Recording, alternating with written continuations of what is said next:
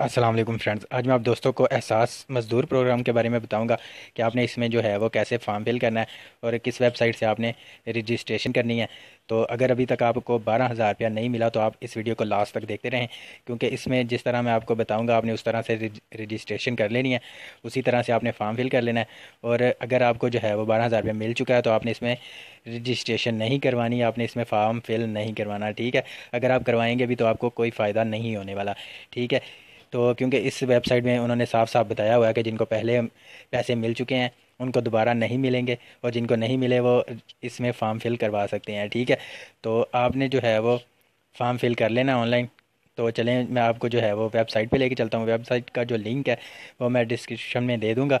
तो आपने वहाँ पर क्लिक कर लेना है और आपने वेबसाइट पे चले जाना है। और अगर इस तरह की आप मज़ीद वीडियो देखना चाहते हैं तो आप हमारा चैनल यहाँ से सब्सक्राइब कर लें और साथ में बेल आइकन को दबा के आल का ऑप्शन सेलेक्ट कर लें ताकि आप लोग, आपको लेटेस्ट अपडेट मिलती रहे।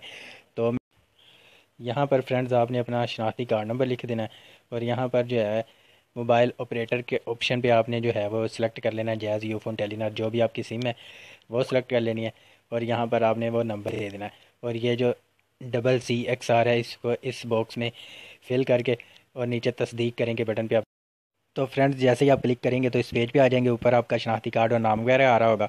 वो मैंने ऊपर वाली साइड पे कर दिया ताकि जो है वो प्राइवेसी बनी रहे, ठीक है? उसके बाद आपको ये ऑप्शन मिलेगा। इस, इसमें जो है वो आपने लिखना है कि आपको जो पैसे मिलते थे वो महीने के मिलते थे या डेली बेसिस पे मिलते थे, ठीक है? यहाँ से सिलेक्ट कर लेना है, ठीक है? उसके बाद पेशा आपने सेलेक्ट कर लेना है, मज़दूर या जो भी दुकानदार, काफ़ी ज़्यादा इधर पेशे जो हैं वो आपको मिल जाते हैं, ठीक है? उसके बाद जो है यहाँ पर आपने सेलेक्ट कर लेना है कि आपकी मंथली इनकम कितनी होती थी, ठीक है?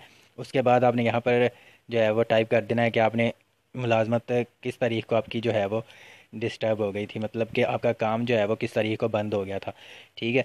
उसके बाद यहाँ पर आपने लिख देना है कि आप जो है वो ए, खुद का काम करते थे या किसी और का काम करते थे। तो यहाँ पर अगर आप खुद का काम करते थे मतलब कि आप अगर दुकानदार थे या कोई दिहाड़ी वगैरह करते थे तो अपना कारोबार दिहाड़ी वगैरह तो किसी और का ही हो गया ना। दुकानदार थे या आप कोई रेडी वगैरह लगाते थे तो आप यहाँ पर अपना कारोबार सिलेक्ट करें और अगर आप किसी और के अंडर काम करते हैं तो दिगर, ठीक है? यहाँ पर आपने क्लिक कर देना है।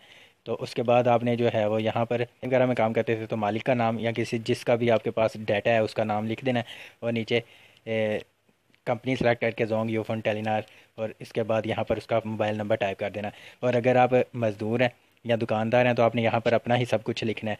नाम वगैरह और नंबर वगैरह अपना ही लिख देना ठीक है? और यहाँ पर जो है, आपने जो है अंग्रेज़ी में नाम टाइप करना है, ठीक है? ऊपर ये देखें, लिखा भी हुआ है हर चीज़ के ऊपर, ठीक है? उसके बाद आपने नीचे आ जाना है और यहाँ पर जो है वो ज़िला लिख देना है ऊपर और नीचे तहसील लिख देना है। ठीक है? ज़िला लाहौर, जो भी आपके शनाख्ती कार्ड के ऊपर होगा, वो आपने लिख देना है।